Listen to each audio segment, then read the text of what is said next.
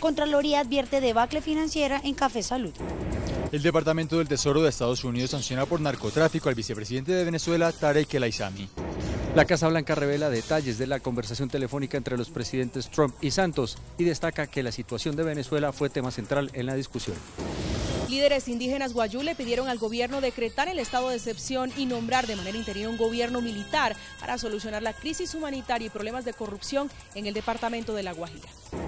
La Procuraduría abre investigación disciplinaria contra la Junta Directiva y directivos del Banco Agrario, que otorgaron aparentemente de manera irregular un préstamo al consorcio Navelena, del cual hace parte Odebrecht. En 2016 murieron más de 7.000 personas en accidentes de tránsito. El 50% de estos accidentes fueron protagonizados por motociclistas. Un total de 55 demandas fueron presentadas contra el Código de Policía. La Corte Constitucional ya aceptó estudiar 15, entre ellas dos presentadas por De Justicia. El gobierno envía 2.500 militares adicionales para enfrentar problemas de orden público en la región del Catatumbo, cerca de la frontera con Venezuela. Secretaría de Educación de Bogotá tiene 91 procesos abiertos contra profesores del distrito por presuntas violaciones a menores de edad. Fondo Monetario Internacional estima un crecimiento de la economía colombiana para 2017 de 2.4%. Análisis sobre lo que está pasando con Millonarios, Santa Fe y América. Copa Mundo de Pista con los mejores de 38 países desde el viernes en Cali. La revista Playboy se arrepiente y volverá a publicar fotografías de mujeres desnudas en su revista. Al final de la emisión, detalles de esta sorpresiva noticia y los espero desde Cine Colombia de Titán Plaza porque analizaremos el continuado éxito de la película La La Land que ahora arrasa en los BAFTAs. Buenas noches, nuestros secretos de hoy. 1. La Corte abre debate sobre si da o no fuerza constitucional a aspectos del acuerdo de paz. 2. Por fin termina interinidad en la UIAF. 3. ¿Quién lo creyera? Hay que pagarle a Odebrecht. 1, 2 y 3 al cierre.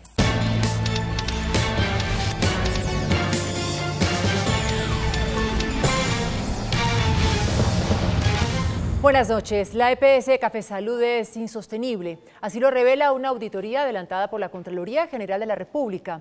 El ente de control indicó que la EPS está perdiendo semanalmente 13 mil millones de pesos. La Contraloría revisó las cuentas y la operación de la EPS Café Salud. El ente de control halló un desorden financiero y un deterioro en los indicadores como deudas, gastos y el patrimonio de la EPS.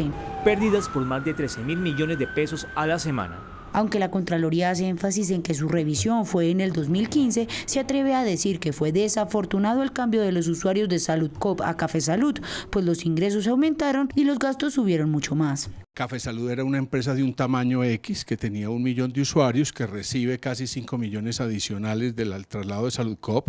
Eso implica, obviamente, un fortalecimiento del proceso administrativo de la compañía que se gastan en insumos y recursos para poder atender esta operación. También encontraron algunas facturas de proveedores engavetadas. Pues muy preocupante que una EPS de este tamaño ni siquiera tenga una contabilidad adecuada. Hubo hallazgos fiscales por el pago de unas multas y la compra de unos computadores. Estamos demostrando y que estamos haciendo el sustento de que fueron gastados dentro de lo que corresponde al 10% de gastos administrativos y no de la UPC. Sin embargo, las directivas de Café Salud dicen que aclararán en la Contraloría los hallazgos. Mientras tanto, la venta de la EPS continuará con las 21 propuestas que ya se presentaron. Y el 21 de marzo es la etapa en que ellos ya deben proponer o hacer la oferta eh, y en ese momento ya sabremos pues quiénes ofrecen y por cuánto. De otra parte, el Departamento del Tesoro de Estados Unidos sancionó por narcotráfico al vicepresidente de Venezuela, Tarek El Aizami. No es la primera vez que a este alto funcionario del chavismo se lo relaciona con prácticas delictivas la sanción la impone la Oficina de Control de Bienes Extranjeros del Departamento del Tesoro. Esta entidad acusa al vicepresidente de Venezuela, Tarek El Aizami, de facilitar el transporte de narcóticos desde el vecino país al haber tenido aviones en su poder. Eran trayectos que tenían como destino México o Estados Unidos y que llegaban a superar una tonelada de peso. A El Aizami además se lo vincula con el cartel mexicano de los Zetas e incluso con el narcotraficante Daniel El Loco Barrera. Es por eso que se le canceló la visa al vicepresidente y cualquier cualquier activo o bien en la Unión Americana queda congelado. El Aizami, exgobernador del estado de Aragua, fue designado vicepresidente el pasado 5 de enero y ya en anteriores ocasiones medios estadounidenses lo habían vinculado con el narcotráfico. La Casa Blanca reveló esta noche detalles de la conversación telefónica sostenida por los presidentes Juan Manuel Santos y Donald Trump. La paz, la posición de Colombia como aliado en la región y la situación de Venezuela fueron temas del diálogo.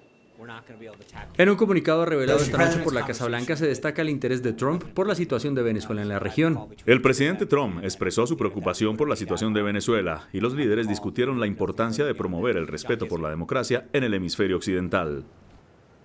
En la conversación, el presidente Trump destacó la importancia de continuar con la larga historia de cooperación con Colombia, a la que reconoció como uno de los más fuertes aliados en el hemisferio, al tiempo que discutió con el presidente Santos el apoyo de Estados Unidos a los esfuerzos de Colombia para crear una paz justa y duradera.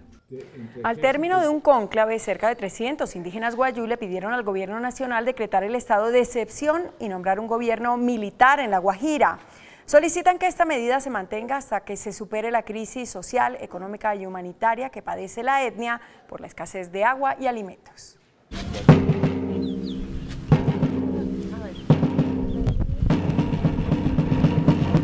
Como si el Mahayud, el encierro de la niña Guayú antes de convertirse en señorita, no tuviera fin, así se sienten los indígenas que pidieron al gobierno nacional decretar un gobierno militar hasta tanto no se supere la crisis humanitaria que está a punto de exterminar a los aborígenes en la península de La Guajira. Nombre a un gobierno interino militar para que no tengan ninguna injerencia eh, los grupos políticos en el departamento y se pueda administrar y mejorar las condiciones que hoy nos está exterminando.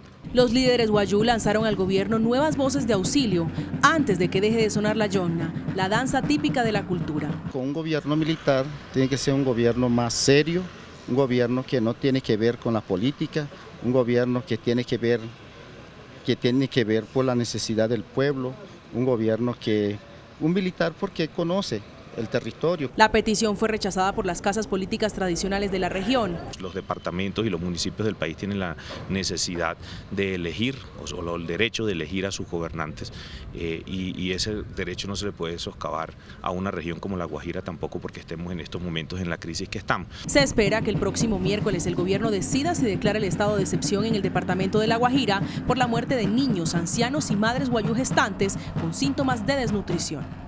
La Procuraduría abrió investigación disciplinaria contra la Junta Directiva y varios directivos del Banco Agrario por presuntas irregularidades en el desembolso de un préstamo a Navilena, cuyo principal socio es la multinacional Odebrecht. La Procuraduría General abrió investigación a la Junta Directiva del Banco Agrario en cabeza de su entonces presidente Francisco Solano Mendoza, al considerar que hay suficiente evidencia para involucrarlos en conductas disciplinarias. Quienes autorizaron con posibles irregularidades un empréstito por 120 mil millones de pesos al consorcio Navelena SAS. La Procuraduría citará a declarar a Álvaro Villegas Villegas, también de la Junta Directiva, y quien se declaró impedido en el proceso de aprobación del mencionado crédito. Miguel Nule, condenado por el llamado carrusel de la contratación, le contó a la Procuraduría cómo se quedaron por fuera fuera de los oferentes de la Ruta del Sol para favorecer a Odebrecht y qué funcionarios habrían intervenido en las presuntas irregularidades. El actual presidente del Banco Agrario advirtió que parte de los incumplimientos y omisiones fue el no poner al banco como primer beneficiario. Pero digamos que allí se examinaron unos temas, el monto, las condiciones en que se otorga la tasa, eh, el tipo de o la línea de crédito correspondiente las modificaciones y cumplimiento de las condiciones que puso la Junta previas al desembolso. Y bueno, sobre todos esos elementos entonces se determina que pudieron haber algunas situaciones de no cumplimiento por errores, eh, por faltas. Dijo que el pago del crédito con sus intereses está garantizado y se destrabaría el próximo 22 de febrero cuando se haga el cierre financiero. Entre tanto, el gobierno le pedirá al Tribunal Administrativo de Cundinamarca que aclare los alcances de la suspensión del contrato de la Ruta del Sol segundo sector y estudiará si el Envías puede continuar las obras paralizadas. Las muertes por accidentes de tránsito en Colombia van en aumento. En el último año perdieron la vida más de 7.000 personas. En el 50% de esos hechos estuvieron involucrados motociclistas. Bogotá con 582 hechos es la ciudad con mayor número de fallecidos en accidentes en vías, seguido por Cali con 402, Medellín 265, Villavicencio 97 y Cartagena 96. Las cifras nos indican que vamos a estar cerrando por el orden de los 7.000 muertos en el año 2016. De los 7.000 muertos en 2016, la mitad involucraron motociclistas. Nosotros pasamos de 2 millones de motocicletas a cerca de 8 millones de motocicletas en los últimos 5 años. El 80% de estos accidentes se pudieron haber evitado. El 40% fueron por exceso de velocidad, el 30% por maniobras peligrosas, el 10% por conducir en estado de embriaguez y el 20% por otras causas.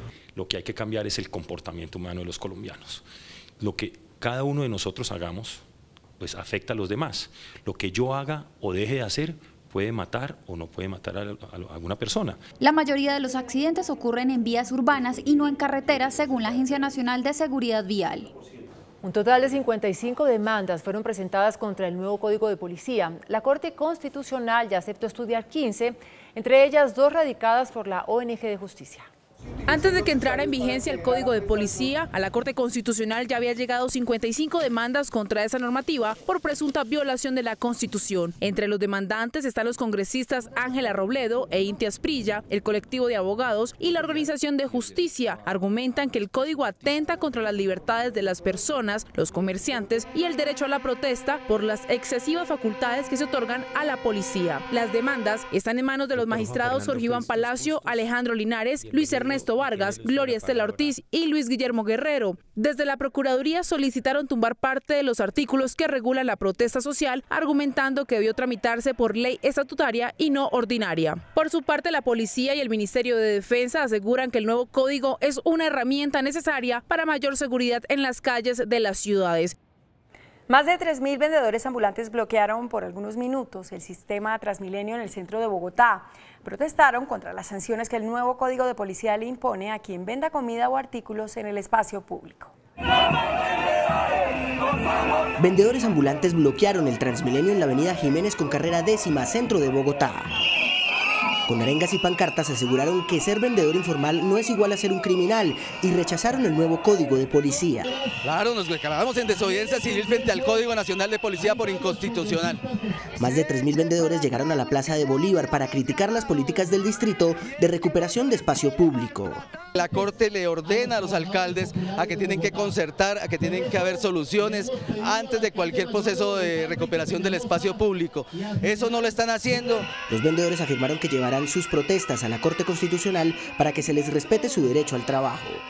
El ministro de Defensa, Luis Carlos Villegas, ordenó el envío de 2.500 militares adicionales para enfrentar problemas de orden público en la región de Catatumbo, donde organizaciones de campesinos denunciaron la aparición de un nuevo grupo armado ilegal.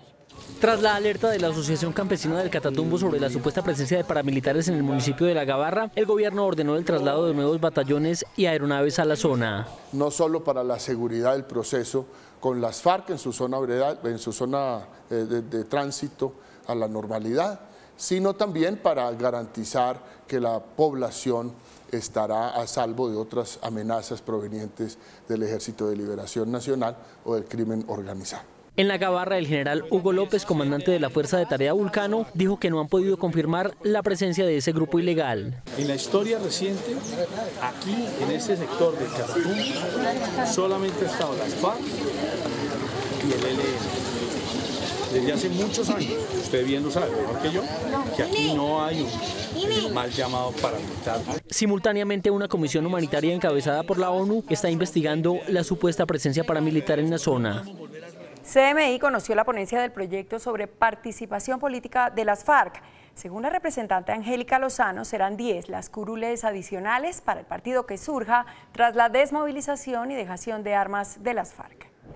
La ponencia que será votada en su primer debate esta semana en la Comisión Primera de la Cámara trae varias novedades. Se aclara que las cinco curules en Senado y las cinco curules en Cámara son adicionales, es decir, no son las mismas ordinarias por las que compite cualquier partido. A las FARC arranca muy bien, arrancan votados y llenos de plata porque les dan el promedio de lo que reciben los demás partidos es decir, mucho más que a los partidos minoritarios legalmente que estamos trabajando con juicio. La ponencia negativa liderada por el Centro Democrático pone restricciones a los integrantes de las FARC investigados por delitos graves. Nosotros vamos a seguir insistiendo que aquellos que han cometido crímenes atroces por lo menos paguen la pena o que no participen en política. Este proyecto será aprobado a través de la vía del Fast Track.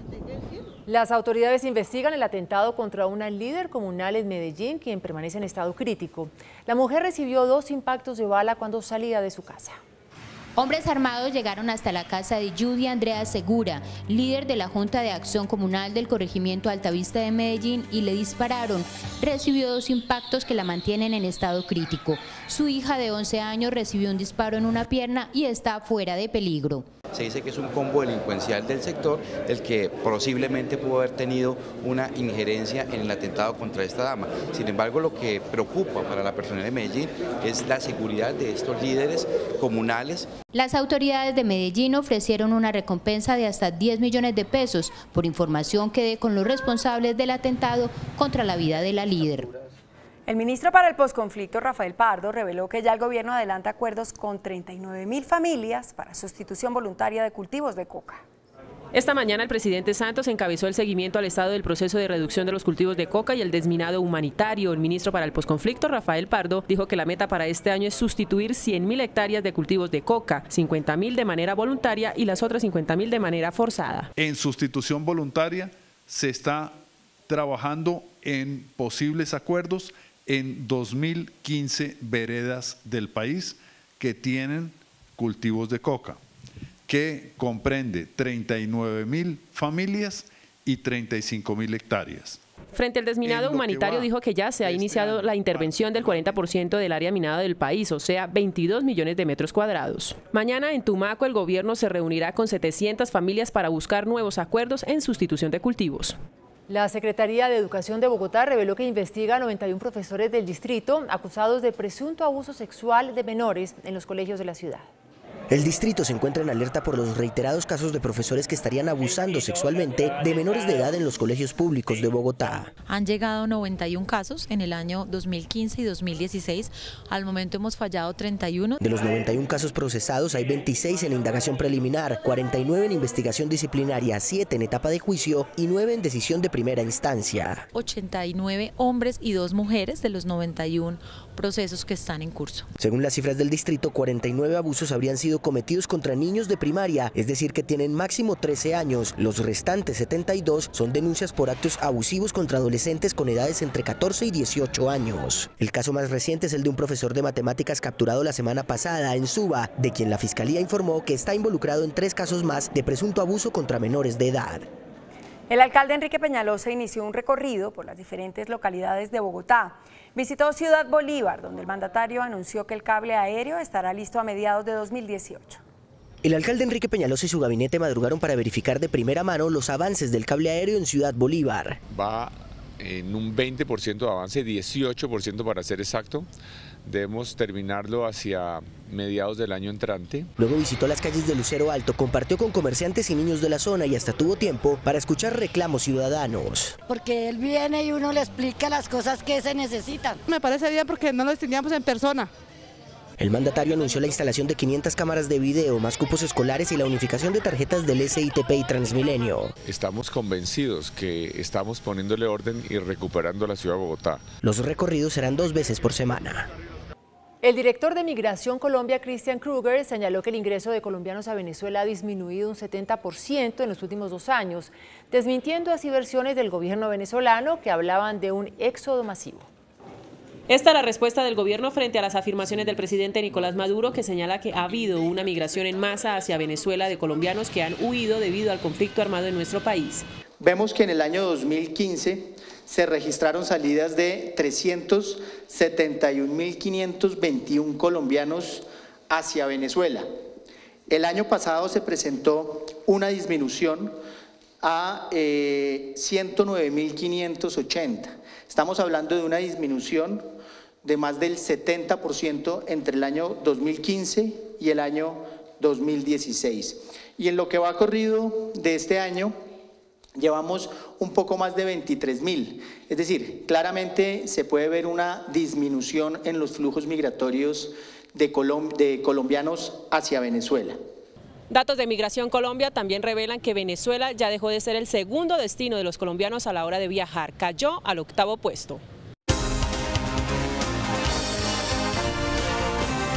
El director del Fondo Monetario para el Hemisferio Occidental, Alejandro Werner, resaltó la política fiscal y monetaria de Colombia, la que, según dijo, permitirá un crecimiento económico del 2.4%. De acuerdo con la banca multilateral, el país ha sabido sortear las dificultades por el desplome de los precios del petróleo en el mercado internacional. La reforma tributaria y la disciplina fiscal han sido factores para mantener una economía con un crecimiento positivo que para este año se proyecta en 2,4%. Los gremios de la producción sostienen que Colombia debe seguir expandiendo su mercado. Mientras más abra usted la economía, mayor es la competencia y mayor las posibilidades de salir. El Fondo Monetario Internacional con otras entidades recomienda una mayor reducción al gasto para seguir fortaleciendo la política social del país. La Superintendencia de Sociedades ordenó la intervención de la comercializadora Credicaribe. La firma captó dineros ilegalmente y está relacionada con la administradora de libranzas Elite, hoy en liquidación. La Superintendencia de Sociedades ordenó la intervención mediante la toma de posesión de la sociedad comercializadora Credit Caribe SAS, firma que cometió irregularidades con el negocio de las libranzas. Naturalmente, el interventor tiene por propósito recuperar los activos y tratar de pagar a los afectados. Esta sociedad está relacionada con grandes compañías que se dedican a la comercialización de libranzas, entre ellas la hoy en liquidación Elite. En muchos casos se presentaron irregularidades en la emisión de estos pagarés. Las supersociedades también ordenó a los establecimientos de crédito, a las fiduciarias, comisionistas de bolsas y administradoras de inversión la congelación de los depósitos de los intervenidos. Son miles los habitantes de la zona del Magdalena Medio que resultaron afectados por la suspensión del contrato de la Ruta del Sol 2, tras el escándalo por sobornos de Odebrecht. Desolación, olvido y abandono de las obras de la Ruta del Sol 2 de Odebrecht es lo que se ve a lo largo del tramo 2 de este macroproyecto vial entre Sabana de Torres y San Alberto Cesar. Los volqueteros, camioneros, hoteleros y afectados denunciaron el abandono tras la situación de la obra por el escándalo. Esta es una obra que genera un desarrollo demasiado importante para todo el país y la pararon. En pelea burros paga el arrieros y nos vamos a ver perjudicados de, dos temas eh, que se derivan de esta problemática. Uno, no sabemos a quién cobrarle ni quién nos va a responder por las platas que nos deben. Aquí de manera local, en el municipio de Sabana de Torres, son más o menos 3 mil millones de pesos lo que se está debiendo. Hasta el momento en Magdalena de Medio son más de 20 mil las familias afectadas por la parálisis y posible suspensión de la obra. Eh, preocupados por la situación nosotros como subcontratistas, ya que hasta el momento no ha habido ninguna eh, manifestación de parte del gobierno nacional ni, ni de Consol eh, con referente a nuestro tema de, de los pagos. Los afectados del Magdalena Medio por Odebrecht señalaron a CMI Noticias que de no llegar una pronta ayuda del gobierno nacional tomarán medidas de hecho porque ellos lo han perdido todo. Hasta mañana tienen plazo los empleadores de consignar las cesantías para sus trabajadores. Se espera un recaudo de cesantías de 5 billones de pesos. Todos los trabajadores dependientes con contrato formal tienen derecho a que sus empleadores les consignen un salario mensual a cuenta de las cesantías. Los trabajadores que tienen derecho para recibir las cesantías son los dependientes sin salario integral. Todos estos dependientes formales son quienes tienen derecho a las cesantías. Mañana 14 de febrero es el último plazo de consignación. Nosotros estimamos que el recaudo de, de este año esté entre 4.7 billones y 5 billones de pesos. Apenas le consignen al trabajador sus cesantías, podrá retirarlas para desempleo, vivienda o estudio. El índice de capitalización de la bolsa que mide el comportamiento de las 20 principales acciones cerró al alza. El índice de capitalización de la Bolsa de Valores de Colombia subió 0,29% a 1.351 puntos. La acción que más subió fue la de Preferencia La Bianca con una valorización de 2,02% a 2.780 pesos. La acción que más cayó fue la de Corfi Colombiana con una pérdida de 3,30% a 32.840 pesos. También la acción de Corfi Colombiana fue la más transada de la jornada al movilizar más de 11 mil millones de pesos. El precio del dólar inicia la semana al alza. Indicadores económicos del día. En CMI. La tasa representativa del mercado que regirá para mañana martes será de 2.875 pesos con 46 centavos. Los profesionales del cambio compran la divisa en 2.830 pesos y la venden en 2.880 pesos. Un euro cuesta 3.036 pesos. La libra de café en Nueva York se cotizó a un dólar con 46 centavos. El azúcar se transó en 20,04 centavos de dólar la libra. El barril de petróleo WTI se cotizó en 52 dólares con 89 centavos. Una acción de Ecopetrol cuesta 1.375 pesos. Otra actriz de Hollywood le roba el corazón a Brad Pitt. ¿Quieren saber quién es? Les diré después de comerciales cuando los espero desde Cine Colombia de Titán Plaza para hablar de la exitosa y galardonada película La La Land, que sigue su camino ascendente a los Oscars.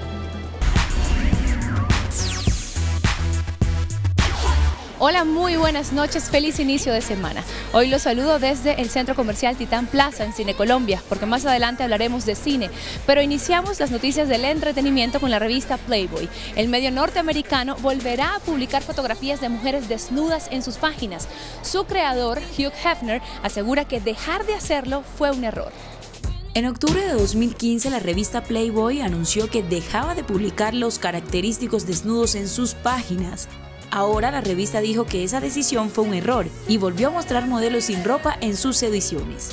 A través de su cuenta en Twitter este lunes, Cooper Hefner, director creativo de Playboy, dijo, Seré el primero en admitir que el modo en el que la revista mostraba la desnudez era anticuado, pero quitarla por completo fue un error. La desnudez no fue nunca el problema porque la desnudez no es un problema. Hugh Hefner, creador de la revista y padre de Cooper, en su momento mostró inconformidad en público ante la política de no desnudos que se implementó porque ya no podían competir con la inmensa cantidad de oferta sexual que hay publicada en Internet. Así que en la próxima portada de marzo-abril, que ya se puede descargar en su página web, se observa una modelo desnuda. La protagonista es Elizabeth Elam. La portada está acompañada por el titular Naked is Normal, que traduce la desnudez es normal y cubre estratégicamente los pezones de la modelo. Ahora sí les digo por qué estoy en Cine Colombia de Titán Plaza. Y es que esta es una de las salas en donde se proyecta la exitosa y galardonada película La La Land, a pesar de ser una cinta norteamericana, arrasó en la premiación de los BAFTA que se realizan en el Reino Unido. Y es que esta película genera algo muy interesante. Algunos quedan rendidos ante su magia, otros la critican por su artificiosidad y otros aseguran que tiene muchos valores, pero creen que no es para tanto. Hoy con espectadores y expertos nos preguntamos qué tiene La La Land. A dos semanas de los premios Oscar, donde tiene 14 nominaciones, solo equiparable con Titanic y Todo sobre Eva, La La Land construye un camino sólido hacia los premios de la Academia. En los BAFTA se llevó 5 de las 11 nominaciones que tenía, entre ellas la de Mejor Película, Mejor Director y Mejor Actriz. ¿Qué le gustó de La La Land? Me encantó la parte musical que hay ahí a través de la película. Muy linda, es muy tierna. Me pareció como floja la historia. Eh, el final me gustó, pero en sí toda la película no. Entonces, ¿qué tiene La La Land? Tiene una historia de amor que creo que corresponde más a la realidad de hoy en día. No tiene un final feliz y yo creo que eso lo hace, la hace distinta, muy bien actuada. Eh, ella es maravillosa, uno le entiende todo lo que le pasa por dentro sin decirlo y la música, una de las espiras dorsales de la cinta, juega a favor de construir el fenómeno. La parte musical es absolutamente maravillosa, el tema principal, ese, ese vals que, que aparece en, todos los ritmos, ese homenaje al jazz, eh, lo que es impresionante es el actor principal que, que pues no es doblado, entonces realmente toca el piano. Otros adjudican el éxito a la temática, lejos de la violencia, de la política, de la guerra que opacan nuestros días y cercana a la ilusión que también nos hace en este momento del mundo. El cantante John Legend será el encargado de interpretar las canciones de La La Land en la ceremonia de los Oscar. Fantástico. Y continuamos con más estrellas de Hollywood porque Brad Pitt estaría saliendo con la actriz Kate Hudson, según lo reveló la mamá de la rubia. Goldie Hawn, madre de la actriz Kate Hudson, ha revelado que su hija tiene un romance con el actor Brad Pitt. Declaraciones que han causado revuelo en Hollywood porque el actor aún está casado con Angelina Jolie. Muchos afirman que este fue el detonante de la separación de las dos estrellas, que están en proceso de divorcio. La relación de Kate Hudson, de 37 años, y Brad Pitt, de 53, comenzó como una amistad y apoyo al actor, que quedó devastado por haberse distanciado de sus hijos tras la separación. La veterana actriz también revela que Pitt y Hodgson están planeando informalizar su relación y hacerla pública, luego de que éste legalice su estado. Desde Cine Colombia de Titán Plaza me despido porque continuamos siguiéndole la pista a La La Land en su camino a los Oscar. Que tengan una muy feliz noche, nosotros nos vemos mañana. Chao. Jorge Cárdenas, gerente de la federación, fue acusado de provocar y no detener la grave crisis de la industria cafetera. Yo soy un ciudadano que cada dos años pongo a la consideración del Congreso Cafetero mi renuncia. Yo no le he sacado el cuerpo al debate para que se analice y le he puesto la cara a todo el debate nacional que se ha querido hacer en el foro que se ha querido hacer. Y en esos mismos foros estoy dispuesto a responder por las acusaciones, por las insinuaciones y sugerencias que se hagan sobre mi desempeño como gerente.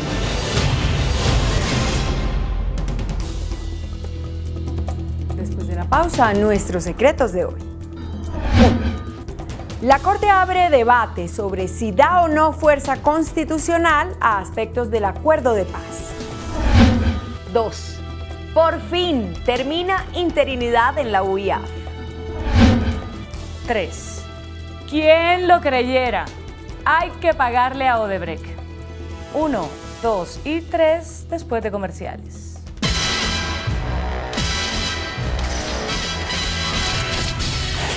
Nuestros secretos de hoy. 1. Candente debate sobre el acuerdo de paz se avecina en la Corte Constitucional.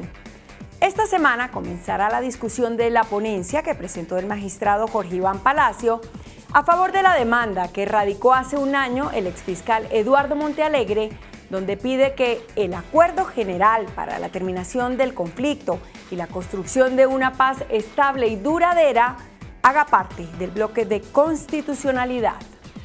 En el proyecto de fallo, Palacio considera que sí debe ser considerado un acuerdo especial, pero aclara que solo podrá ingresar al bloque de constitucionalidad lo relacionado con el derecho internacional humanitario y los derechos humanos. En caso de que dicha tesis sea acogida, su consecuencia inmediata será que aquello que integre el bloque de constitucionalidad no podrá ser modificado por ningún presidente. Según trascendió, la ponencia de Palacio cuenta con un amplio respaldo en el interior del alto tribunal. 2.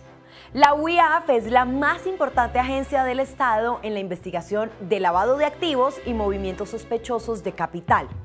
Inexplicablemente, la dirección de esa entidad estuvo en interinidad durante 10 meses.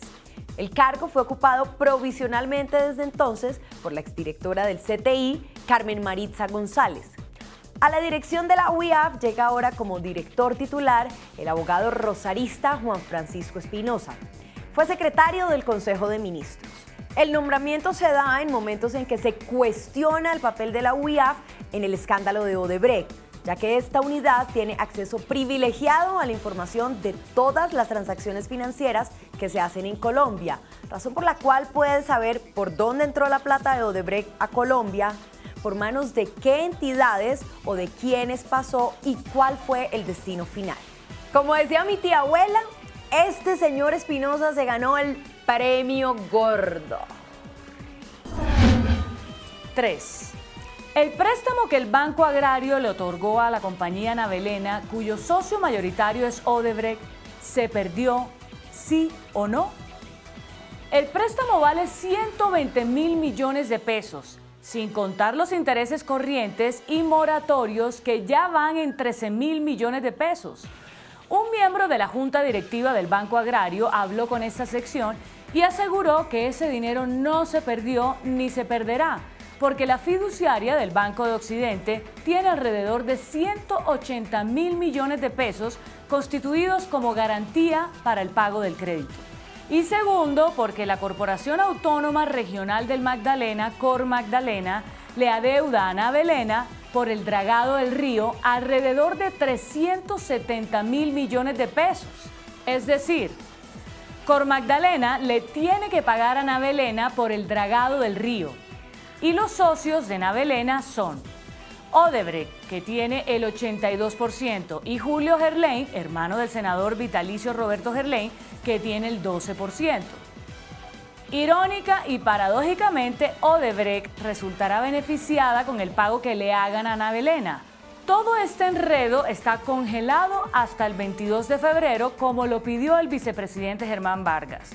Él reveló que la corporación china Power China está interesada en adquirir la parte que corresponde a Odebrecht en Avelena. Esa corporación dirá sí o no. Si dice sí, nos salvamos. Y si dice no, nos... Hasta mañana. Que descanse.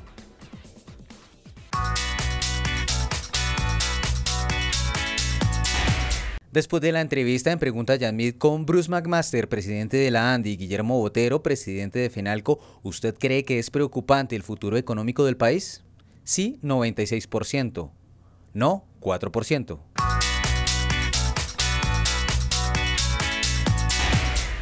Hasta aquí las noticias, gracias y buenas noches. Nos vemos mañana, como siempre, en CMI, La Noticia.